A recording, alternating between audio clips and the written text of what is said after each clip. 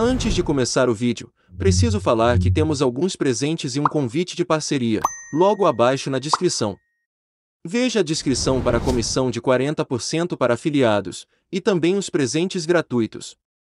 E agora vamos para o vídeo. Resolução COFIN número 6392020 dispõe sobre as competências do enfermeiro no cuidado aos pacientes em ventilação mecânica no ambiente extra e intra-hospitalar. O Conselho Federal de Enfermagem COFEN, no uso das atribuições que lhe são conferidas pela Lei nº 5.905, de 12 de julho de 1973, e pelo Regimento da Autarquia, aprovado pela Resolução COFIN número 421, de 15 de fevereiro de 2012. Considerando o artigo 8 inciso 4 da Lei N. Graus 5.905, de 12 de julho de 1973, que dispõe sobre a competência do COFIN em baixar provimentos e expedir instruções, para uniformidade de procedimento e bom funcionamento dos conselhos regionais.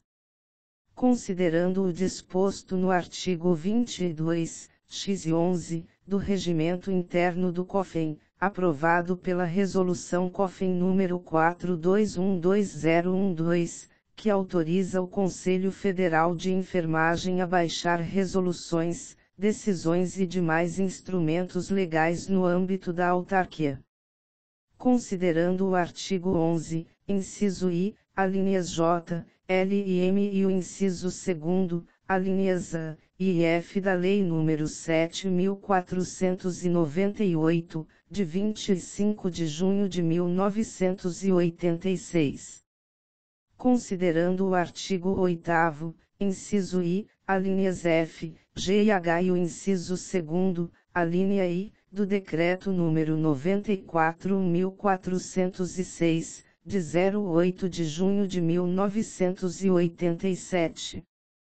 Considerando a Resolução COFIN número 5572017, que aprova, no âmbito da equipe de enfermagem, o procedimento de aspiração de vias aéreas, a Resolução COFIN número 39020111, que normatiza a execução, pelo enfermeiro, da punção arterial tanto para fins de gasometria como para monitorização de pressão arterial invasiva, e a resolução COFIN número 3582009, que dispõe sobre a sistematização da assistência de enfermagem e a implementação do processo de enfermagem em ambientes, públicos ou privados, em que ocorre o cuidado profissional de enfermagem.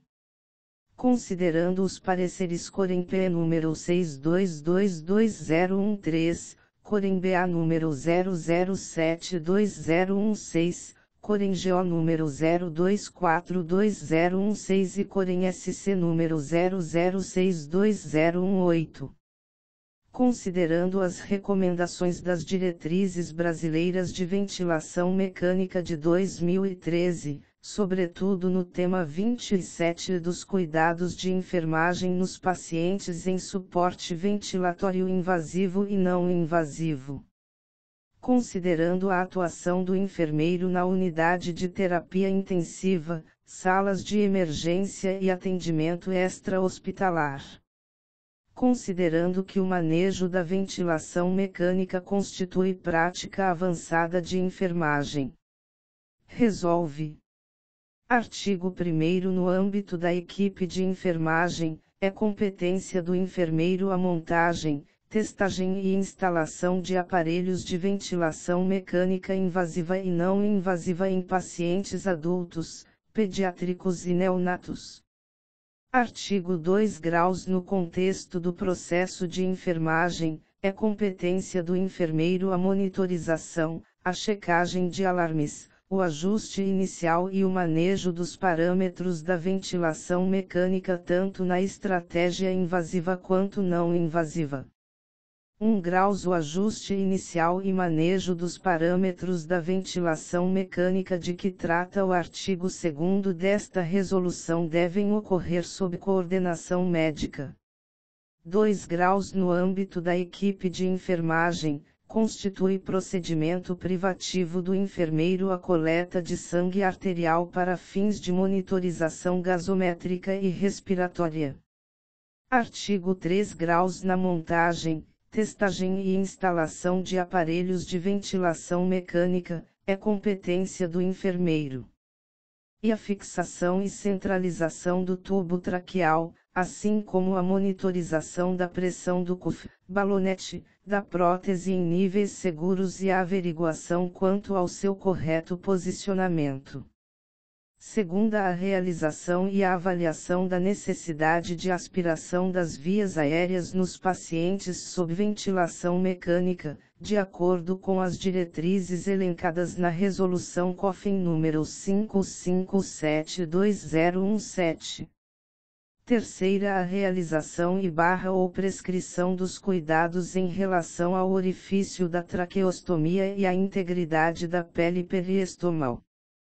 Quarta, a realização e barra ou prescrição de higiene bucal, incluindo o uso do gluconato de clorexidina 0,12% ou outras soluções antissépticas cientificamente recomendadas, em pacientes sob ventilação mecânica.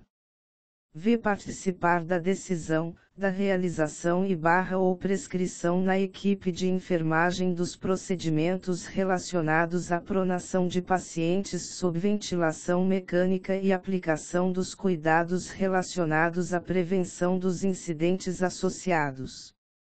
E agora preciso falar que temos alguns presentes e um convite de parceria, logo abaixo na descrição. Veja a descrição para a comissão de 40% para afiliados, e também os presentes gratuitos. Inscreva-se no canal, compartilhe, e clique no sininho. E vamos começar a nossa parceria e aproveite os presentes.